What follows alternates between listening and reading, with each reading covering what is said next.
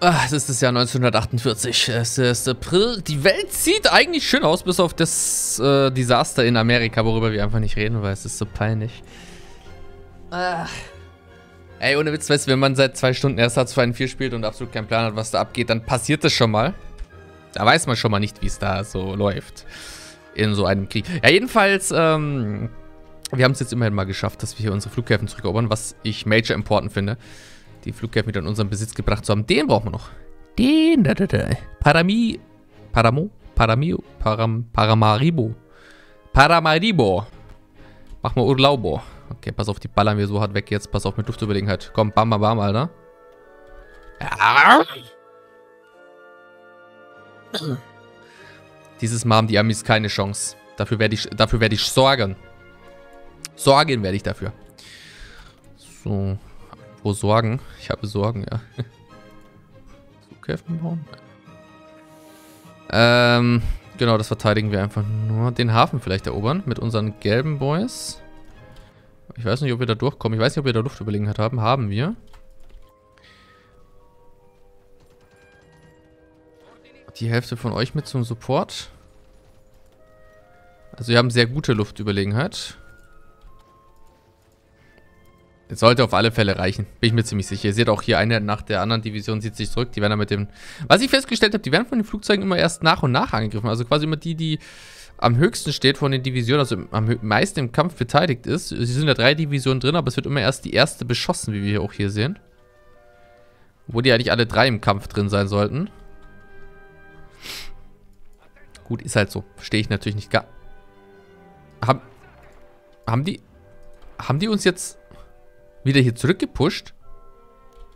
Oh Leute, wir haben das gar nicht erobert. Ich habe nur gedacht, wir haben es erobert, oder was? Ups.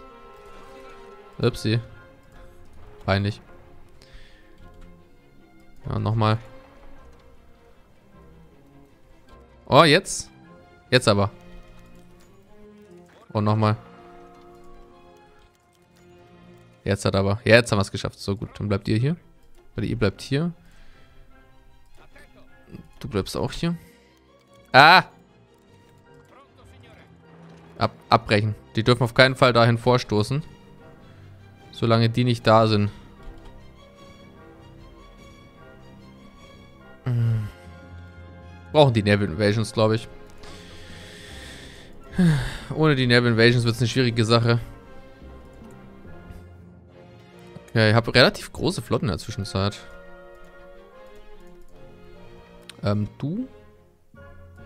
Du einige Fertigkeiten. Mal Minesweeper mit rein. Minesweeper war auch immer ein sehr schönes Spiel eigentlich. Nerve Invasion Support hier, hier, hier. In den drei Regionen. So, dann läuft das doch schon mal. Dann hoffen wir mal, dass das Ganze erfolgreich Ich weiß gar nicht, wo die hingehen, die Nerve Invasions. Gehen die beide dorthin? Scheinbar. Ah, okay. Gut. So kann man es natürlich auch machen. Damit wären die Naval Invasions komplett vergeblich.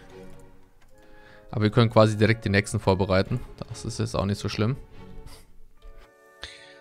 Aber wichtig ist nur dieser Flughafen. Wir haben auch nochmal 2000 Flugzeuge, die wir da für uns nutzen könnten. Ich habe nur so viele Divisionen. Und ich muss auch ein bisschen gestehen, tatsächlich ein bisschen den Überblick verloren habe ich schon wieder. Okay, wichtig nur, dass wir hier unten weiter die Stellung halten. War mit dem Flughafen da eigentlich? Den konnte man nicht ausbauen, ne? Äh, wie machst du das hier? Versuch mal hier vorzupushen. Richtung Sao Salvador. Das klappt schon mal. Da den Hafen erobern. Und natürlich auch die Gebiete. Und das nächste Also die Nav Invasion ist vor 100 Jahren gestartet worden. Die sind auch hier, die Schiffe und die, die Einheiten. Die haben aber leider schon wieder alle keine Organisation. Das ist natürlich ganz toll. Naja, ganz doch. Gott, das Zeug, was wir da alles freischalten müssen noch. Da ist seit 30 Jahren... Wartet, dass es mal benutzt wird. Ah, wir können übrigens schon 1948er Krams freischalten, sehe ich gerade. Machen wir das doch auch mal ganz nebenbei. Was ist denn mit euch hier eigentlich? Warum startet ihr nicht mal eure Naval Invasion? Klappt nicht so richtig, oder was? Ne, klappt nicht so richtig. Aber... Pass auf. Machen wir es doch mal so. Ja, warte, warum überhaupt hier? Was mache ich überhaupt da? Hallo? Warum denn da oben überhaupt? Da, hier, hier. Die drei Regionen sind es eigentlich nur. Ah. Aber die US-Flotte ist halt auch nicht ohne. Als ob dieses auch interessiert, was da in Großbritannien abgeht, davon mal abgesehen. Gut, das Ganze anzugreifen ist etwas hartnäckiger. Könnt ihr supporten? Könnt ihr. Haben wir Luftüberlegenheit? Ja, massive sogar. Aber reicht leider nicht einfach so. Wobei hier doch... Na, fast. Nochmal hin, bitte. Ja, jetzt hat. Sehr schön. Unsere Naval Invasion ist auch schon auf dem Weg. Die haben es jetzt dann doch nochmal geschafft, dieses Jahrhundert. So, da stellen wir auch nochmal mit um. Da haben wir nur leider ein bisschen Probleme mit der Versorgung. Weil hier beide Seiten Probleme haben, sehe ich gerade. Hier unten hat geklappt. Alle sehr, sehr gute Werte. Ohne Luftüberlegenheit hätten wir hier überhaupt keine Chance. Erste Division ist raus, zweite Division ist raus, dritte ist raus. Damit gehört Salvador uns. Versuchen jetzt hier einzukesseln, um hier die vier brasilianischen Divisionen kalt zu machen. Und der Flughafen gehört jetzt auch uns. Das ist sehr erfreulich. So, was ist mit euch? Was? Lol. Einfach 1000 Flugzeuge ohne Auftrag.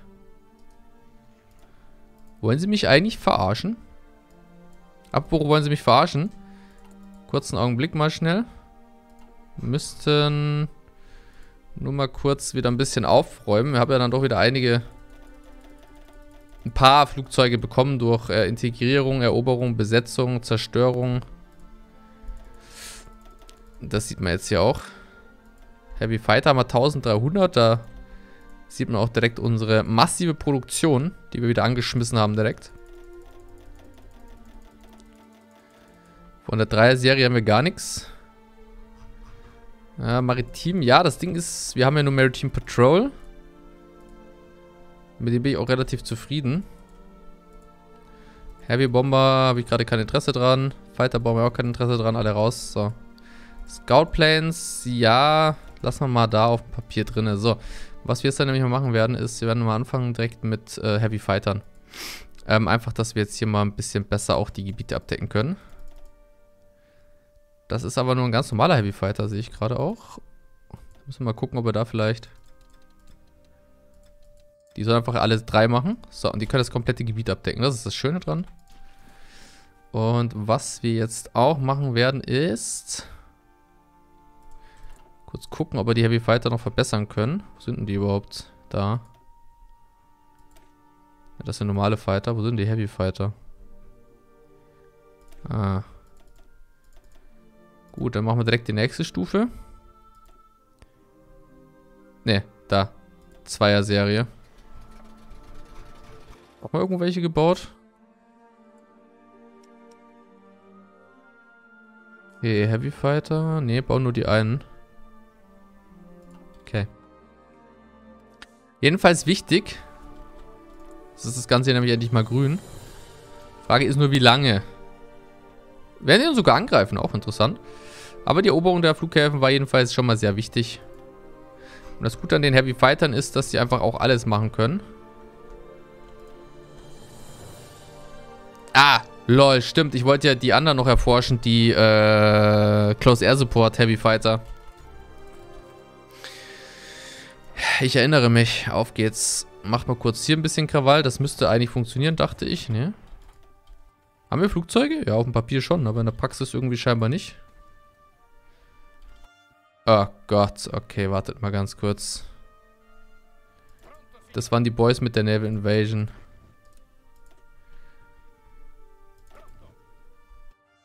Mm. Ja. Gut. ist ein guter Punkt jetzt. Wohin mit euch?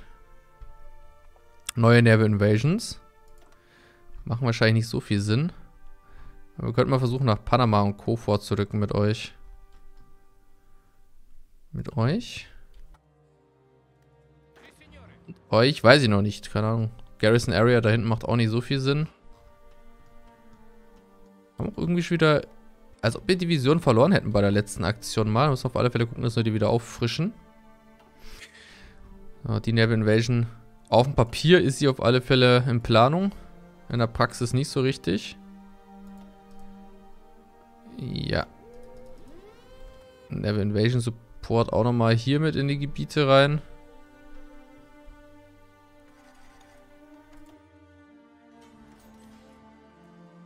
Stark sind die gar nicht aufgestellt, aber... Ich glaube, wir machen das mal kurz anders. Warte, wir wählen mal kurz alle Schiffe aus. Mal kurz alle zusammenschließen und zwar alle dann hier unten hin. Das Flottenmanagement oder das Flottenhandling finde ich ja bis heute ein bisschen kompliziert, sage ich mal. Wichtigste ist halt auch, dass die... Ach, ich habe das schon frei... Ach, stimmt, lol. Ja, das habe ich ja tatsächlich ähm, Ende letzter Folge noch einen Auftrag gegeben. I remember. Woran ich mich auch remembere, ist, dass wir jetzt dann einfach mal anfangen sollten, Atomreaktoren zu bauen. Und zwar nicht nur 1, 2, 3, sondern halt wirklich Atomreaktoren. Und zwar viele Atomreaktoren. Weil das Ding ist, ich weiß nicht, ob ihr das noch in Erinnerung habt, aber die Amerikaner fanden es damals äußerst lustig, uns atomar abzuballern. Und ich sag mal so, ich bin nicht nachtragend, ne? Gar nicht. Ich bin eigentlich jemand, der auch über sowas hinwegsehen kann und der dann auch immer sagt, okay, und das kommt vor und da müssen wir über, über alles, man kann über alles reden und so. Aber ich bin schon richtig pisst. Deswegen werde ich ein paar bauen, nicht viele. Ich habe doch eh schon welche gebaut, oder? Haben wir nicht schon Atomreaktoren gebaut oder täuscht mich das jetzt schon wieder? Ich weiß es gar nicht. So, pass auf, folgendes, folgender Sachverhalt. Ähm, Produktion. Wir setzen die Divebomber aus. Wir setzen die normalen Fighter aus. Wir setzen Maritime Patrol nicht aus. Die lassen wir tatsächlich. So, Heavy Fighter, okay. Dinger, okay. So. Damit wir jetzt Heavy Fighter Bomber bauen können. Genau, das sind die Boys, die auch echt stark mit Ground Attack sind. Äh, nur leider etwas zu teuer, um die zu verbessern. Halbieren wir mal die Produktion. Da schrauben wir sie schön hoch. So, Heavy Fighter Bomber und Heavy Fighter. so. Werden die Produktion langfristig noch erhöhen. Sobald wir Zeit dafür haben. Ähm. Gut, aber die anderen Flugzeuge, die wir hier haben, die können wir natürlich auch noch nutzen. Wäre natürlich dumm, wenn wir das nicht machen würden.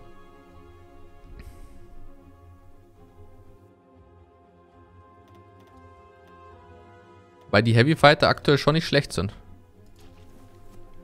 So. Gucken wir nochmal, ob wir da durchkommen. Wie gesagt, Bergen wäre mal das Ziel. Mit massiver Luftüberlegenheit. Aber die sind so eingebuddelt da und so eingesch... Ihr seht das ja. Wir arbeiten uns so schnell auf hier an den Stellungen von denen.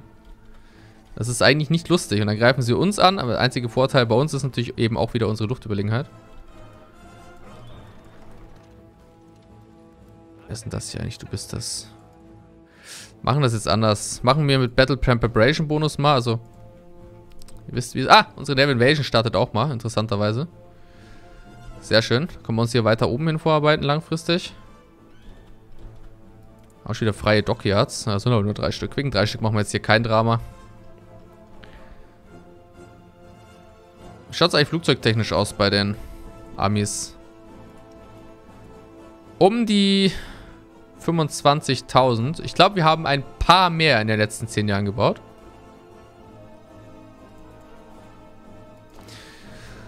Egal. Passt schon. Amerikaner haben natürlich relativ viele Flugzeuge im Feld. Ist natürlich ganz logisch. So, da haben wir jetzt auch 10 von 10. Da ist schon wieder beschossen, ey. Die gehen mir auf den Sack mal was, echt, ne? So, Heavy Fighter Bomber 36. 40. Pass auf, ich nur mal ein bisschen hier das Zeug updaten. Da ist wieder so viel altes Zeug dabei. Weißt du nicht mal woher? Ja, das ist dieses uralte Zeug halt, ne? Ja, die. Weiß, es ist dumm. Ich, ich könnte es irgendwelchen Freunden schicken und so. Klar. Könnte man das machen, aber... Kommen denn die alle her? Erbeutet oder was? So, das ist noch das alte Zeug. Okay, jetzt haben wir nur noch das neueste Zeug. So. 190 politische Macht. Gut, War-Propaganda ist erstmal nicht dumm. Dann schauen wir wieder, was wir hier ressourcentechnisch so upgraden können. Öl haben wir ja eigentlich mehr als genug. Wir haben einen täglichen Zuwachs von 167.000, hat noch nie einen höheren Verbrauch als 136.000. Machen wir Wolfram und Aluminium, Chrom, Aluminium. Das ganze Zeug da. Ressourcentechnisch schaut supi-dupi aus eigentlich trotz allem. So, und ihr bleibt, ihr passt mal ein bisschen auf, glaube ich, langfristig, weil äh, ich bin relativ äh, angewidert von euch zurzeit. Das heißt, ihr müsst damit rechnen, dass ich Atomwaffen einsetze. Langfristig. Jetzt schauen wir erstmal, dass wir unten weiter hinkommen. Dann würde ich ganz gerne mit euch das hier erobern. Flugzeuge haben wir keine mit dabei. Aha. Okay, ich verstehe. Leider. Fighter, Fighter, Fighter. Heavy Fighter. Tausendmal euch. Blub. Und 400 Mal die Heavy Fighter Bomber. Da sind sie endlich. Endlich einsatzbereit. Leider müssen wir die Heavy Fighter Bomber noch ein bisschen upgraden. Haben zwar grundsätzlich schon mal eine bessere Range als das normale Zeug, wie wir sehen können. Aber trotzdem müssen wir das Ganze noch upgraden. So, jetzt haben wir hier deutlich die Luftüberlegenheit normalerweise. Äh, okay, Sao Salvador ist so eher nur noch ein Spaß zur Verteidigung, oder was? Kurz Truppen verschieben. Warum schon wieder nur brasilianische Flugzeuge hier? Warum keine von uns? Jetzt hat... Ah! Oh, oh, oh. Sehr schön. Jetzt hat... Jetzt... Ja, ja, ja. Jetzt hat... Jetzt hat... Passt. Sehr schön. Außer es halt eben nur wissen, wie man seine Einheiten unterbringt. Gibt es eigentlich noch irgendwas Interessantes? Ich schaue häufiger nach synthetische Ressourcen. Oder irgendwie verblicken. Ich glaube, dass wenn wir das einfach so lassen, ist einfach nur die politischen Machtpunkte mitnehmen, die wir da nutzen können für War Support und so ein Krams. Das ist, glaube ich, die bessere Lösung. Ihr geht mal dort mit hin. Die da unten haben keine Chance. Sie wissen ja auch, was ihnen blüht. Wir wollen sie einkesseln.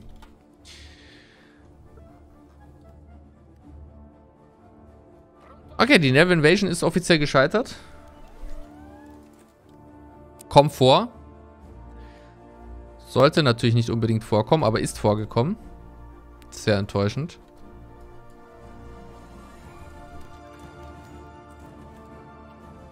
Schade, Marmelade. Die Briten das da so hart verteidigen könnten. Wir werden auch jetzt tatsächlich, denke ich mal, dass es das erste Mal wird, dass wir hier wirklich Äh, warte mal kurz. Naval Invasion nochmal stoppen. Ich denke mal, es wird doch das erste Mal sein, dass wir hier wirklich ähm, Carrier nutzen werden in diesem Projekt. Ah, Kommandi, Kommandi, okay. Äh, acht Divisionen dorthin. Nochmal sieben Divisionen dorthin. Und dann nochmal vier Divisionen mit dorthin. Und dann nochmal eine Division mit. Oh Leute, waren ja auch noch 28. Ach, tschüss. Hab ich ja komplett vergessen. Äh, vier Divisionen. Da drüben fehlen uns auch schon wieder ein paar. Zwei und eine. Einer dorthin. Eins und zwei. Geben jetzt aber irgendwelche Trades. Das sind übrigens unsere Boys in Asien. Die gibt es auch noch, tatsächlich. Unsere asiatische Front. Die darf man mal kurz pausieren. Genauso wie unsere gelben Boys. Ich will alle vergessen. Dürft auch wieder alle pausieren. Macht mal alle ein bisschen Pause. Alle mal ein bisschen chillen. Meine Manpower geht eh in den Keller runter. Nach und nach. Muss man nicht übertreiben. So, wie lange dauert denn die Atomforschung eigentlich noch? Weiß das einer? Nicht so wirklich scheinbar. Äh, dann machen wir... Dann machen wir weiter mit... Das dauert noch 159 Tage. Äh. 159 Tage für eine kleine Atomwaffe. Man kann es auch echt übertreiben zeitlich. So, dann holen wir uns den Hafen hier. Von zwei Seiten. War eigentlich der Plan. In der Praxis hat es nicht so ausgeschaut. Support. Ah, ist nicht so einfach. Sieht mal alles einfacher aus, als es dann am Ende ist. Ihr könnt mal gerne trainieren, übrigens nebenbei. Würde euch auch nicht schaden.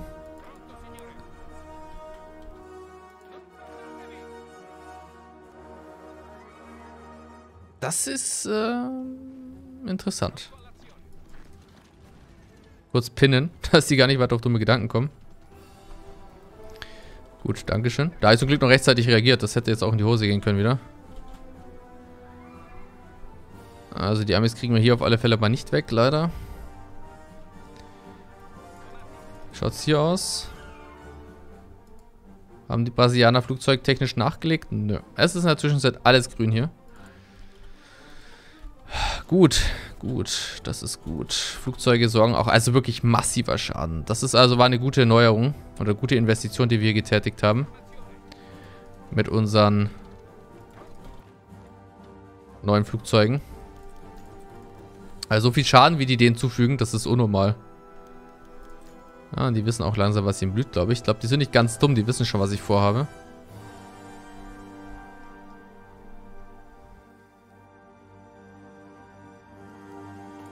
Bei Zivilfabriken haben wir aktuell nicht. Da wird sich da auch nichts dran ändern, da ich ja aktuell nur Atomfabriken baue.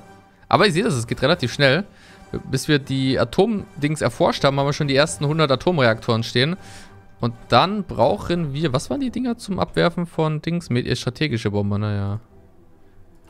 Das heißt, äh, strategische Bomber...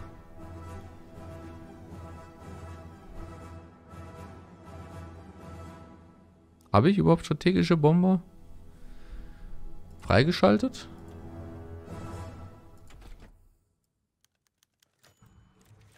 Warte mal ganz kurz. Medium Bomber. Was sind da jetzt die strategischen Bomber? Anti-Shipping. Das ist ein Heavy Fighter, das ist ein Medium Bomber.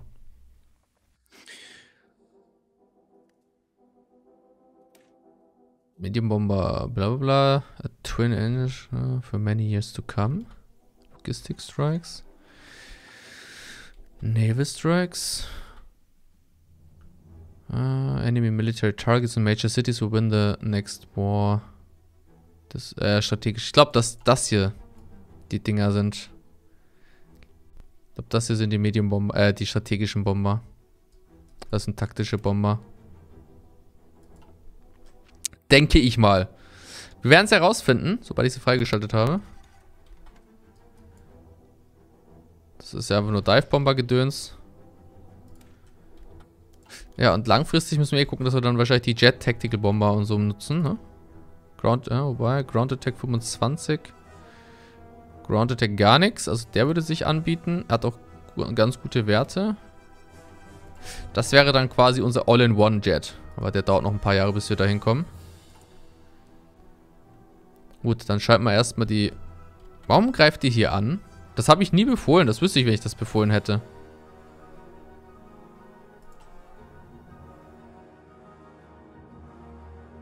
Ich das befohlen, dass jemand angreifen soll? Ich glaube nicht eigentlich. So.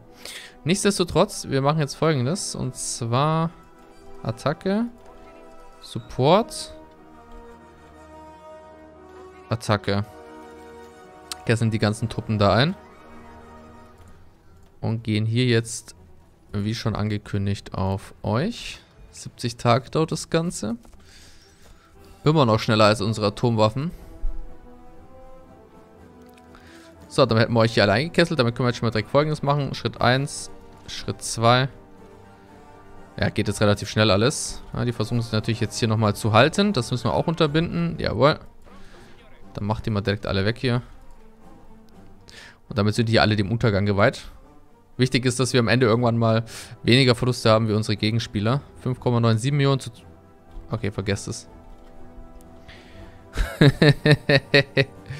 okay, wir haben ja auch schon hohe Verluste erlitten. 6 Millionen Mann ist eigentlich relativ ungewöhnlich, dass wir so hohe Verluste auf unserer Seite haben. Aber...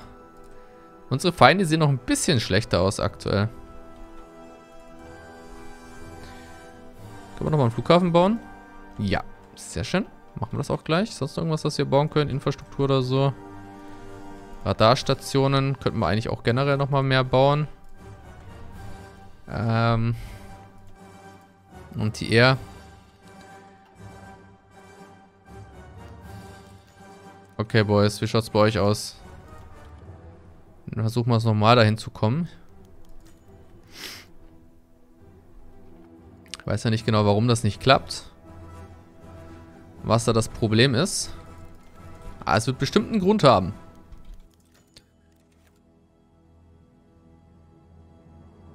Organisation ist eigentlich super. Vielleicht wurden die letztens von einer Armee abgefangen oder irgend sowas in der Art. Ich weiß es nicht. Oder von einer feindlichen Flotte. Kann natürlich alles sein.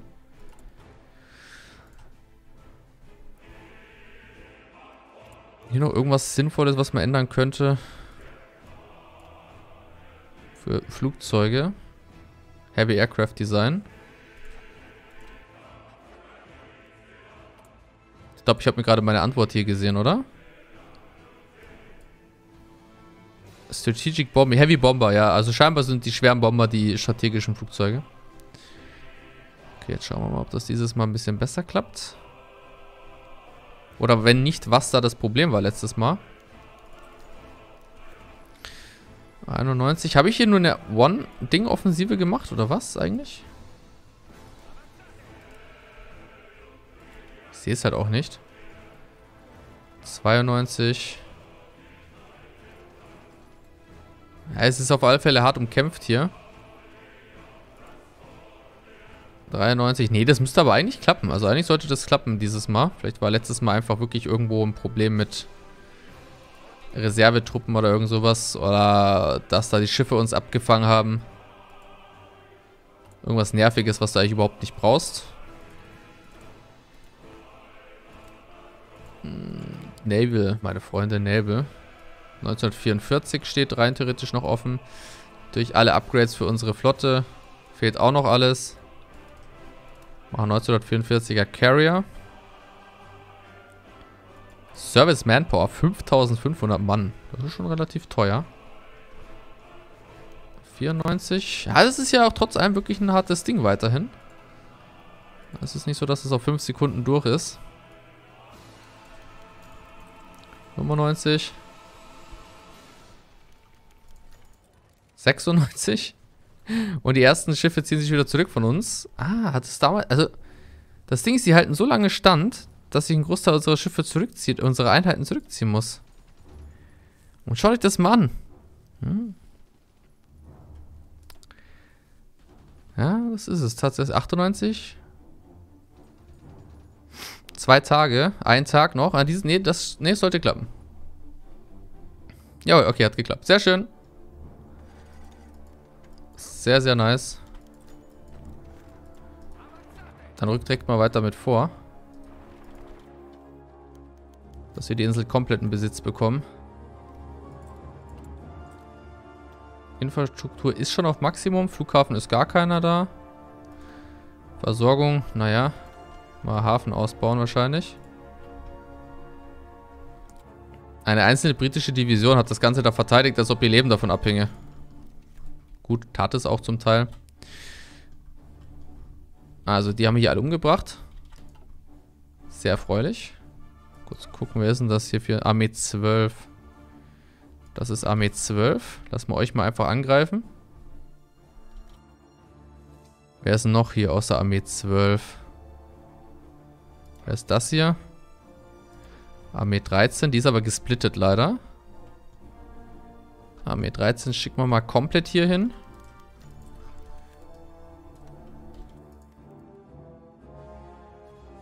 So, dann haben wir... Pass auf. Das machen wir weg. 17. 17. Division Armee 1. Armee 1 ist das hier.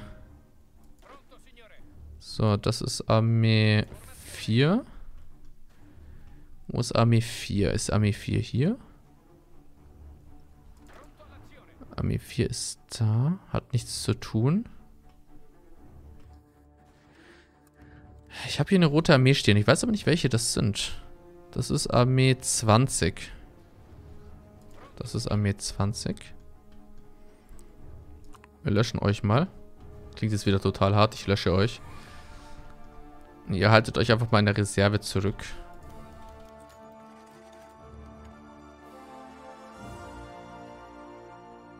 So, genau. Ihr chillt da einfach weiter. Die chillen da auch einfach weiter. Das passt eigentlich soweit alles. Und wir haben 16 neue Panzerdivisionen. Die wir zum Glück nicht alle auf den Haufen stellen, weil es total ineffizient ist. So, was auch total ineffizient ist, ist die Tatsache, dass ich irgendwo Naval Invasion nochmal höre. Das ist aber hier in Ordnung. Das ist einfach nur wieder Naval Invasion. Die können wir aber abwehren. Müssten aufpassen, dass wir halt den Hafen hier nicht verlieren. Und nächste Folge sind wir dann auf alle Fälle auch in der Lage, Atomwaffen zu nutzen. Normalerweise. Und auch unsere Medium-Bomber sind dann soweit. Oder unsere strategischen Bomber, die wir dann auch brauchen für die Atomwaffen im gleichen Umkehrschluss. Konstruktionstechnisch haben wir in der Zwischenzeit unfassbar viele Atomreaktoren jetzt schon gebaut. Wir haben erst angefangen mit dem Bauen. Oh Leute, wenn ihr wüsstet, was euch erwartet. Wenn ihr wüsstet, was euch erwartet, Amerika. Das wird der größte Nuklearkrieg in der, in der, in der Geschichte der Nuklearkriege. Die gesamte Erde wird unbevölkerbar sein für die nächsten 10 Milliarden Jahre, wenn ich mit euch allen fertig bin. So, danke, danke. Okay, hier oben haben wir alles erobert. Infrastruktur passt. Hafen bauen wir nochmal einen hin. Flughafen wird auch gebaut. Freunde, es ist natürlich ein bisschen zäh jetzt aktuell alles. Aber wir arbeiten dran. Könnt ihr sogar noch ein eine Fertigkeit mit verleihen hier. So, jetzt schauen wir mal, wie es ausschaut mit Battle Plan Preparation Bonus, einer gezielten, geplanten Offensive und Luftüberlegenheit. Das sieht deutlich besser aus. Da haben wir auch endlich mal Norwegen erobert nach 100 Jahren. Folge ist ein bisschen länger geworden, weil ich bin ein netter Käfer und deswegen bis zur nächsten Folge. Macht's gut. Tschüssi.